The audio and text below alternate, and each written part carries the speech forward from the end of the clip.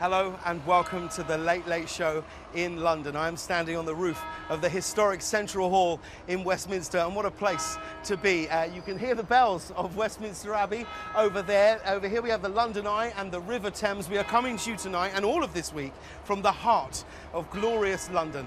Tonight we are airing on CBS as usual, but we are also uh, doing our show on Sky One in the UK, and right now we are broadcasting to over 150 countries around the world, and it is a genuine honour to be bringing our show back here to England for a second year.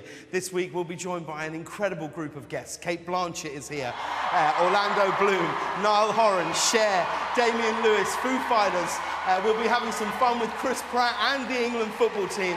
And we have quite possibly my favourite carpool karaoke to date. We are doing it with Sir Paul McCartney. But most importantly, we are joined